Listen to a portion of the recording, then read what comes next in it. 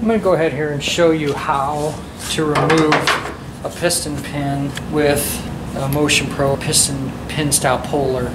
This one's pretty cool because it comes with uh, an adapter.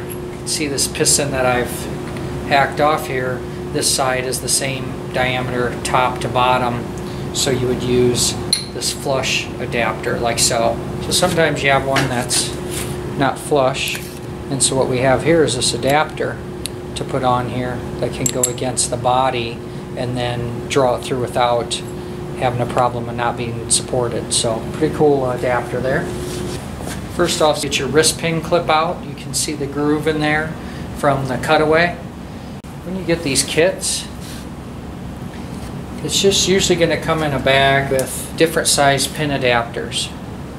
What these are is you're going to size up the diameter of the pin with the idea that you're going to draw that through.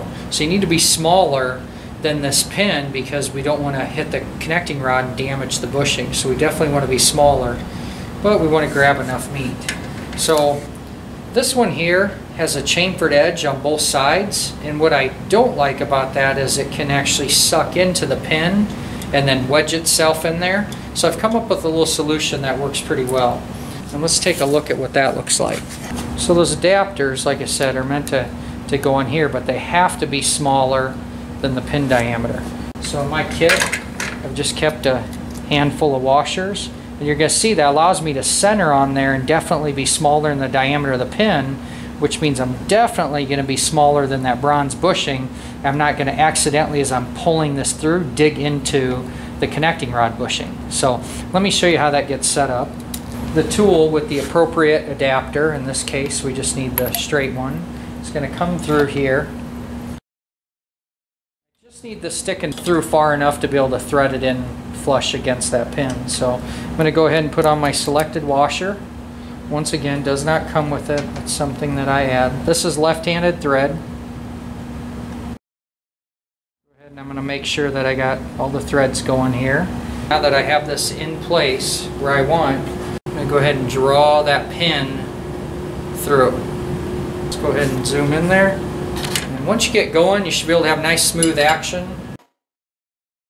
If you're binding right here, quit. That Because that means you've hit the rod and need to stop and readjust yourself. Here's a good side shot view of that again. You have to be centered there. If not, you're going to have problems. In our case here, we would be free.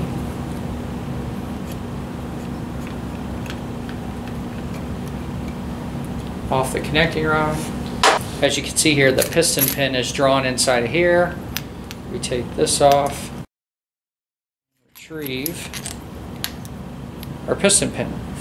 Now you can do the same thing as far as installing it, and let me go ahead and show that. Let's just assume though that we were having to press this in